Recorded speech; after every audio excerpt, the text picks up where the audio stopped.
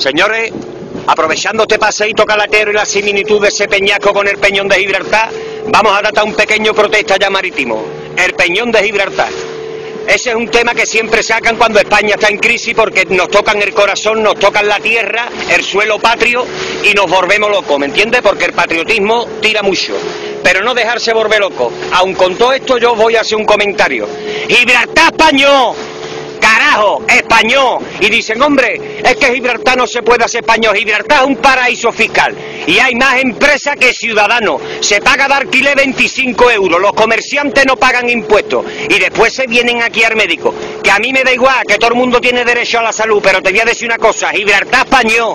Y si eso fuera español, todos los que están ahí, porque ahí el problema gordo que hay es la pela, el dinerito todos los llanitos y todos los linenses que se han acostumbrado a vivir de los billetes de Gibraltar, lo siento, hacemos Gibraltar español y se acostumbráis a vivir de otra manera. Y al que no le guste que se vaya a Inglaterra, ¿te está enterando? Porque el Peñón está enfrente de Cádiz y en el Peñón se vive como se vive en Cádiz. Y si en Cádiz hay miseria, pasáis miseria. ¿O qué carajo es? ¿Qué tipo de gaditano soy ustedes, carajo? ¿Qué coño os habéis creído? La línea es Cádiz, el Peñón es Cádiz, viví como los gaditanos. Si te quieres vivir con un inglés, te va a Londres, con tu puta madre.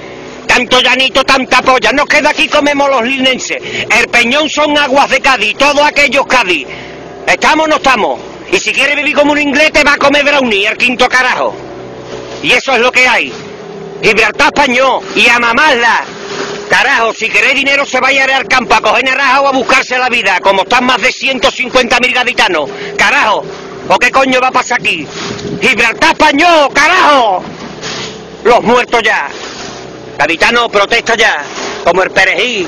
Y oye, que esto es una cosa que tiran por lo nacional, ¿eh? pero no volverse loco, ¿eh?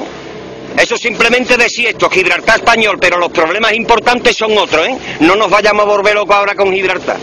Venga, señores, mucho ánimo y confianza, ¿o qué carajo va a pasar aquí?